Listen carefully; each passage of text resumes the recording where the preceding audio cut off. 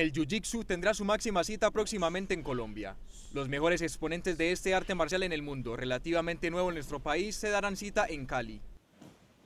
Esta competencia va a batir récords, vamos a tener más de 300 participantes, contando más de tres países, Ecuador, Perú, Bolivia, va a ser una competencia muy interesante para que nos midamos los colombianos. Se trata del Fighting Time Tournament que por tercer año consecutivo se realizará en nuestro país. Los departamentos más fuertes en Jiu-Jitsu en este momento somos Antioquia y Cali, eh, Barranquilla, eh, Popayán, son departamentos que vienen creciendo mucho, Pasto también, en Nariño pues viene haciendo su, su, trabajo muy bien, pero nosotros seguimos siendo los más fuertes. Aunque el Jiu-Jitsu es un arte marcial de origen japonés, en Brasil fue adaptado por la familia Gray, siendo este el que se practica actualmente en el mundo. Es un Jiu-Jitsu aplicado para personas livianas que no requieren ninguna destreza técnica previa, es decir, cualquier persona lo puede practicar y si tú ves los absolutos no los ganan los más pesados. Por Antioquia competirá un equipo en varias categorías representando a Colombia y uno de sus peleadores estelares, Kevin Cuervo, defenderá el título en la modalidad absoluta en cinturón morado.